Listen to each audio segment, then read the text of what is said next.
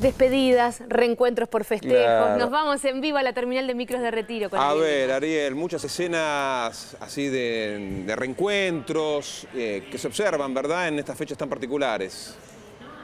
despedidas, afectos, gente que se va, gente que se reencuentra con sus familiares queridos a lo largo de todo el país. Los micros que están saliendo aquí se dirigen y a medida que va pasando la hora se hace más intensa eh, la salida de micros y el movimiento aquí desde la terminal de retiro. Hay que destacar que el Ministerio de Trabajo con un cuerpo de inspectores eh, se hizo presente desde muy temprano para controlar el descanso efectivo de los choferes, que tiene que ser de 12 horas, fiscalizando todo este tema para eh, que se incremente la seguridad aquí en la salida de los micros y eh, en la circulación de, de los choferes. Vamos a ver algún testimonio. ¿Cómo le va? ¿Cómo anda?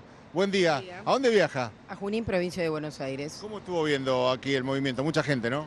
No tanto como mañana seguramente, pero es deplorable el estado en que se encuentra esta estación terminal.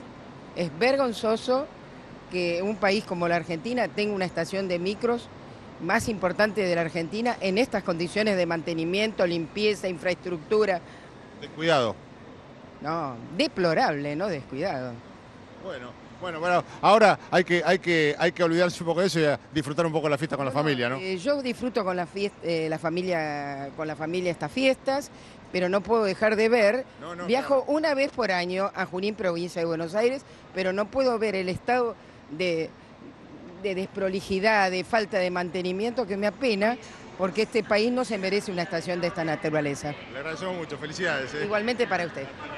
Bueno, el reclamo, el reclamo de la gente, a ver, otro, otro amigo que viaja. ¿Dónde viaja, amigo? A Bolívar, A ver a la familia. sí. ¿Cuándo vuelve? Eh, jueves. Se pas- pasa Navidad allí. Usted vive acá en Buenos Aires. No, sí, en. Provincia de Buenos Aires. ¿Y qué- ¿El micro a qué hora está saliendo? A nueve y media creo. Ah, bueno, estamos en hora, estamos bien, ¿no? Sí. Esperemos que haya menos calor allá. Ah, no creo. Estamos, ¿No? estamos Ah. igual, en todos lados está igual. sí, mucho calor allá. Sí. Bueno, felicidades. Gracias igualmente. Bueno, el testimonio de la gente que está viajando, que está esperando aquí en la terminal de retiro el servicio que lo va a llevar a su a su encuentro con los seres queridos para pasar estas Navidades. Un servicio que sale a Rosario con la gente esperando para abordar este micro que seguramente ya en minutos a las 9 de la mañana ya va a partir rumbo a Rosario. Vemos la gente cómo, cómo está esperando.